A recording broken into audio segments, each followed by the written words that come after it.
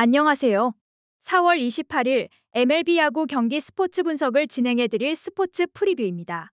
스포츠 경기 분석 전 많은 분이 물어보시는 가족방과 조합픽 받는 법에 관해서 설명해드리고 이번 스포츠 분석 시작하도록 하겠습니다. 하루에도 수많은 경기가 있습니다.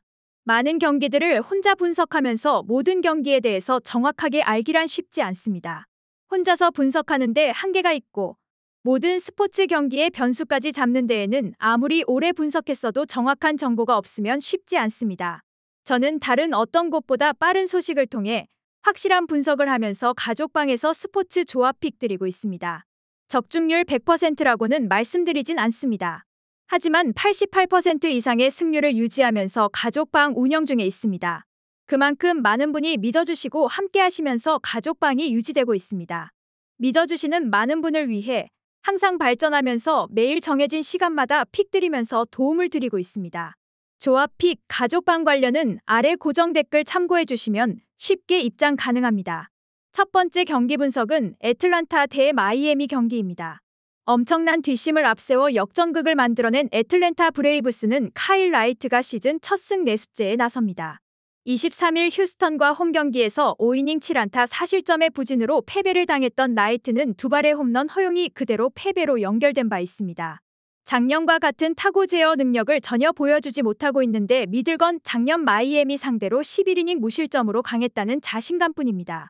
전날 경기에서 알칸타라와 플로로 상대로 홈런 두 발 포함 6점을 올린 애틀랜타의 타선은 8회 말에 4점을 몰아치면서 역전을 이뤄냈다는 점이 강팀의 증거라고 할 수 있을 것입니다. 후반부에 상위 타선이 살아났다는 점은 이번 경기에 기대를 걸게끔 하는 부분입니다.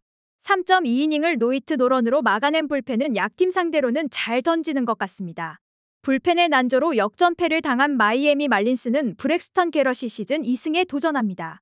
23일 클리블랜드 원정에서 5.2이닝 5안타 1실점의 호투로 승리를 거둔 게럿은 최근 두 경기 연속 5.2이닝 1실점의 호조를 이어가는 중입니다. 작년 애틀랜타 상대로 홈에서 10.2이닝 2실점으로 강점을 보였는데 공격적인 투구는 구장덕을 많이 본 거고 무엇보다 애틀랜타는 좌완 투수에게 강한 팀이라는 변수가 존재합니다. 전날 경기에서 브라이스 엘더를 무너뜨리면서 홈런 3발 포함 4점을 올린 마이애미의 타선은 홈런 3발이 모두 솔로 홈런이었다는 점이 아쉬운 부분입니다. 멀티 히트 타자가 한 명도 없었다는 건 이번 경기를 앞두고 불안함을 안길 수 있는 포인트입니. 무결점의 플로로가 0.1이닝 4실점 blown 패배를 당한 건 마이애미로선 꽤 치명적인 후유증을 남길 수 있습니다. 현 시점에서 라이트와 게럿은 양 팀의 타선을 제어하지 못할 가능성이 높습니다. 연타의 마이애미와 한방의 애틀랜타라는 경기가 나올 가능성이 높은 편입니다. 그러나 불펜의 안정감은 그래도 애틀랜타가 조금 더 낫고 이 점이 결국 승부를 가를 것입니다. 두 번째 경기 분석은 피츠버그 대 LA 다저스 경기입니다. 타선 폭발로 반격에 성공한 피츠버그 파이어리츠는 미치 켈러가 시즌 3승 도전에 나섭니다. 22일 신시내티와 홈 경기에서 6이닝 4안타 2실점의 호투로 승리를 거둔 켈러는 상성상 불리한 신시내티를 무너뜨렸다는 점이 매우 고무적입니다. 4경기 연속 QS를 기록할 정도로 안정감도 있고 홈에서 더 강한 투수인데다가 하드 히트 허용 비율이 메이저리그 상위 5%라는 점은 이번 경기에 대한 기대감을 올리는 부분입니다. 전날 경기에서 곤솔린이 내려가자마자 무섭게 타격이 폭발하면서 8점을 득점한 피츠버그의 타선은 오래간만에 홈 경기에서 위력적인 모습을 보여주었다는 점이 긍정적인 부분입니다. 무려 6개의 도로로 상대의 혼을 빼놓는 건 보너스입니다. 3이닝을 1실점으로 버틴 불펜은 승리조에게 휴식을 줄 수 있어서 다행일 것입니다. 불펜의 난조가 완패로 이어진 LA 다저스는 훌리오 유리아스가 시즌 4승에 도전합니다. 22일 컵스 원정에서 3.1이닝 7안타 5실점의 부진으로 패배를 당했던 유리아스는 그야말로 hard counter인 컵스를 만나서 크게 고전한 바 있습니다. 한번 흔들린 페이스를 얼마나 빨리 되찾느냐가 이번 경기의 중요 포인트가 될 수 있을 듯합니다. 전날 경기에서 콘트레라스에게 철저하게 막혀 있다가 8회 초 터진 프리먼의 솔로 홈런이 유일한 득점이었던 다저스의 타선은 타격의 기복이 상당히 심한 편입니다. 결국 피츠버그의 불펜을 어떻게든 흔들어야 승산이 있을 듯합니다. 올라오는 족족 무너져버린 불펜은 과거의 영광을 찾아볼 길이 없다. 전날 경기에서 양 팀의 희비는 크게 엇갈렸습니다. 특히 피츠버그의 타격이 살아났다는 점이 이번 경기의 중요 포인트가 될 듯합니다. 켈러의 투구는 다저스의 타선을 잘 막아낼 수 있는 반면 한 번 슬럼프에 빠진 유리아스가 부활하는 건 아무래도 다음 경기여야 할 것 같습니다. 피츠버그의 스피드는 봉쇄가 되겠지만 타격은 이야기가 다릅니다. 세 번째 경기 분석은 필라델피아 대 시애틀 경기입니다. 엄청난 뒷심을 앞세워 역전극을 만들어낸 필라델피아 필리스는 맷 스트람이 시즌 2승 도전에 나섭니다. 21일 콜로라도와 홈 경기에서 5.1이닝 4안타 11삼진 3실점의 투구로 패배를 당했던 스트람은 긴 이닝을 버티지 못하는 게 문제입니다.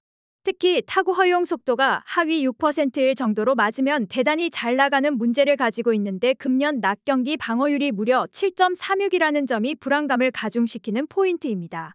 전날 경기에서 시애틀의 투수진 상대로 닉 카스테야노스의 2점 홈런 포함 6점을 올린 필라델피아의 타선은 무려 12개의 안타가 말해주듯 타격의 호조를 이어가는 중입니다. 특히 경기 후반에 계속 집중력을 유지한다는 게 포인트입니다. 워커 강판 이후 5이닝을 3안타 무실점으로 막아낸 불펜은 확실히 최근 들어서 매우 좋아졌다는 게 느껴질 정도입니다. setup 부재가 대형 사고로 번져버린 시애틀 매리너스는 조지 커비가 시즌 3승에 도전합니다. 22일 세인트루이스와 홈경기에서 6이닝 4안타 2실점의 호투로 승리를 거둔 커비는 최근 두 경기 연속 홈에서 6이닝 이상 2실점의 투구가 이어지는 중입니다. 작년보다 금년 원정 투구가 좋아졌는데 공격적인 투구는 시티즌 뱅크파크에선 오히려 독이 될 가능성도 있습니다.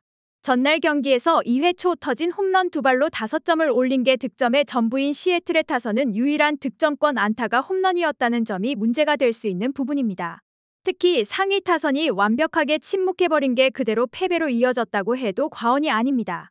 벌써 여섯 번째 블론 세이브를 범하고 있는 불펜은 이제 한 점 차 승부에선 패배의 아이콘이 합니다. 이번 시리즈에서 시애틀의 불펜은 심하게 흔들리고 있습니다. 그래도 전날 워커를 무너뜨린 것처럼 낮 경기에 약한 스트람을 무너뜨릴 수 있을 듯합니다. 물론 로건 길버트의 투구를 고려한다면 커비 역시 호투를 기대하기엔 조금 무리가 있는 게 사실이지만 불펜만 정상적으로 굴러간다면 유리한 건 시애틀입니다. 이번 스포츠 분석 4월 28일 MLB 야구 경기 분석이 도움이 되셨으면 좋아요와 구독 알림 설정까지 부탁드리겠습니다. 가족 방 참여, 조합픽 관련된 정보는 아래 고정 댓글을 참고하시면 받아보실 수 있습니다. 지금까지 시청해주신 모든 시청자분들 감사합니다. 다음 영상에서 더 정확하고 좋은 정보로 찾아오겠습니다.